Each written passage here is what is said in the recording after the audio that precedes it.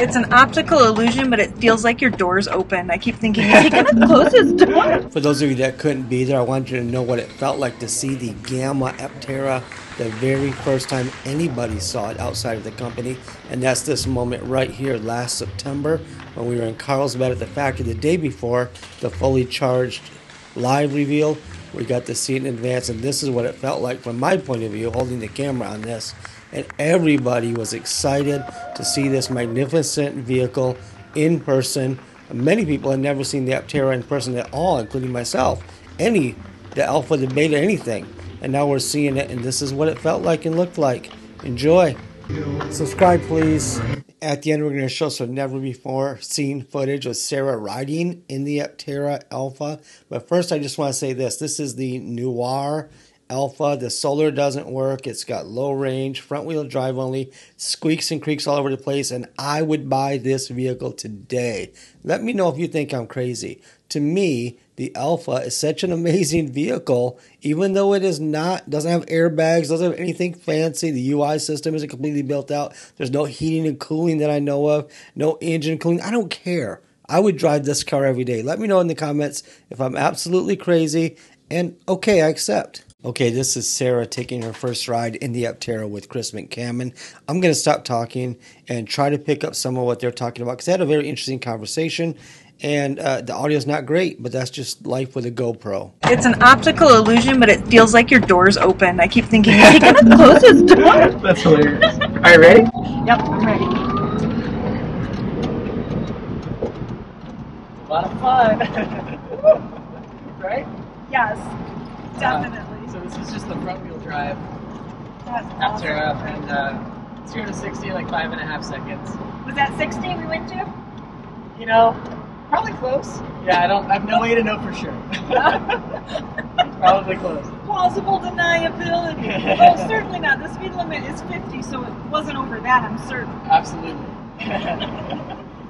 but yeah, even in these alphas, they hold the corners really well, and, and I think pretty cool to get in these for the first time because you think it's a three wheeler, it's going to feel different than my normal, you know, vehicle, but Yeah. it actually you don't know it has three wheels at all. Even if I hit a pothole on that, you know, third wheel, like you won't even be able to feel it because you know, really it relies on the front suspension. and You're so far forward, so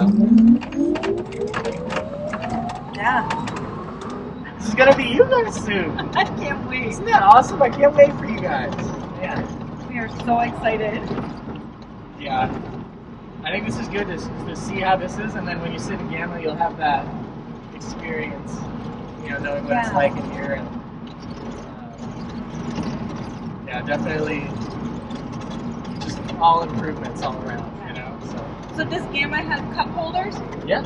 Oh, cool. You know, you're gonna see because I think in, in the in the teases we've done, there's a lot of things that weren't in that vehicle at the time we built it.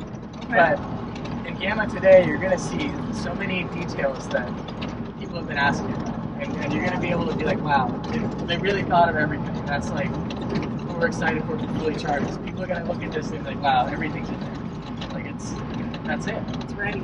It's ready. Exactly. Awesome. It's exciting too to hear that Delta is right around the corner. That it's Yes. like, uh, which means Gamma must be awfully close, without Yes. many more changes needed. Absolutely, and, and Gamma is the production intent features and, and functions of a vehicle, and pretty close to production interior exterior. And it's minor tweaks all around for that.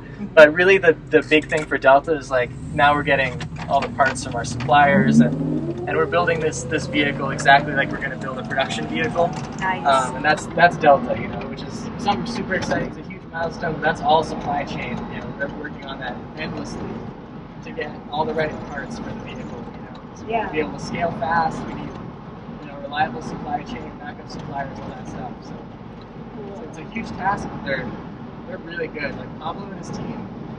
Pablo worked at SpaceX for many years. He's incredible. So like you scaled SpaceX, the supply chain from like almost nothing to like where it is today. So it's just wild to think like there's such awesome people working here that to me it like I feel so confident that we're gonna make it. It's like we have all the right people, you know.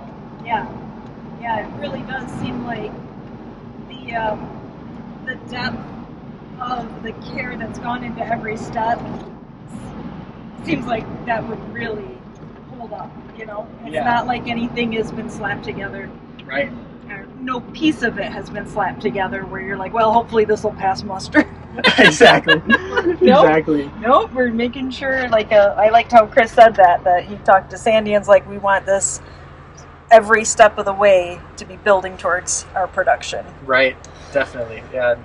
It was so great. Sandy gave a really nice, um, inspirational speech to all the engineers today. Oh, and like I think they really appreciated it. You know, he's like, I, you know, I appreciate what you guys are doing. You're making history. Like, you want to know what company, like car company, I've invested the most in? Here, because I believe in you guys. I was like, yes, you know. Yeah, that's really good. That was a, a thing that affected us too, was that Sandy Munro was involved and that he was an investor because we're like, well, I don't think that would be something he would. If we're not great at the technical stuff, you Yeah, know. we we have a lot of fun and Yeah. we're in, we have an interest, but I would never know. But when I see somebody who is a technical person and really does have that background, then Yeah. I'm like, okay, that would be a person I would take advice from if he offered it. But the best advice you can follow is what somebody's already doing if they're successful. Exactly. exactly. He's super successful. Like I, I respect all this. Every time he says something, I'm like, he, he says a lot. He's like, I'm, I'm never wrong. My wife says it, and it's it's true. I was like, wow, you know. It's like that's something you you could you should, probably shouldn't say unless that's true, but like it seems like it's true. so Yeah. pretty cool. It's a it's a it's a brag that you don't want to be able to have proof false. Yes, right. He wouldn't say that unless he was confident. There's no way. Nope. That was awesome. a great time. Genuinely awesome. Yes. Thank you. Thank you. Thank you. Stay tuned past the thank yous for bonus footage. You don't want to miss this, I promise.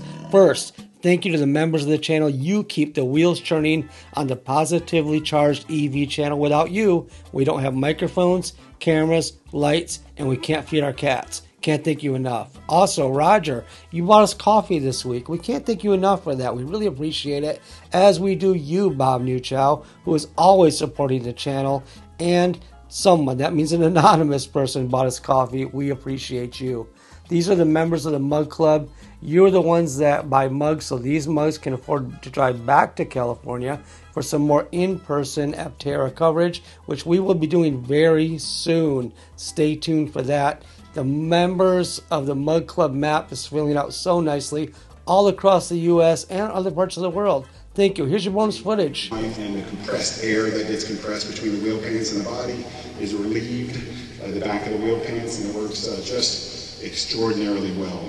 Um, if we can get our regulators to agree through your persistence, we can also possibly get rid of these very um, unaerodynamic uh, by size uh, side view mirrors, but we need help uh, from the regulators to, uh, to actually ditch those in favor of a superior digital vision system. But uh, it's just amazing how the vehicles come together, uh, and I'll let Jason say a few words about the amazing advances we made in the interior too. Chris, you're an amazing speaker. Thank you. Um, again, thanks everybody for coming today. Uh, I think I think the best way to do this is probably just point out some of the features. Um, you guys are very persistent in in your pursuit of uh, knowing what's going on, but we've got the most efficient headlight in the smallest package possible. 4x less the energy with 150 de- field, 150 degree field of optics. We've been in development for over a year on that. It's a like more battery room. Uh, so we made the whole vehicle bigger, but through some aerodynamic tricks, we actually made the aerodynamic drag lower, even though we made the vehicle bigger. So uh, this corner right here by your head moved out 55 millimeters.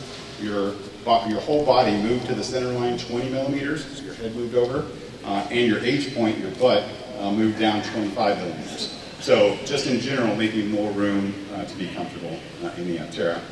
Um, this is our interior mock-up. Um, this is what we use to validate, you know, uh, your reach for how you touch the center screen and how you control things, uh, for how the armrest feels, for how the seat feels. It's where we experimented first with the yoke after getting just a ton of feedback uh, on the yoke decision. Uh, we put a lot of time into this vehicle. It feels really good. It feels right. It feels right with our suspension setup, and we think you are all going to really, really really like this vehicle uh, when we have it uh, for production next year. Um, that's it for the tour. Thank you so much for staying to the end. And some people have asked, and no, I did not seek permission before jumping in the back of the Aptera Alpha. I waited until everybody else was busy in the other area, and then I just did it. Helen Molnar took the picture, so she's as guilty as I am. Helen, we're going to jail together, but we'll be good roommates. I promise I'll clean up after myself. Thank you so much for watching. You want to watch another video about Aptera? Watch this one up here in the top corner. And thank you for being here. And subscribe, subscribe, subscribe, subscribe, subscribe, subscribe. That part was for YouTube.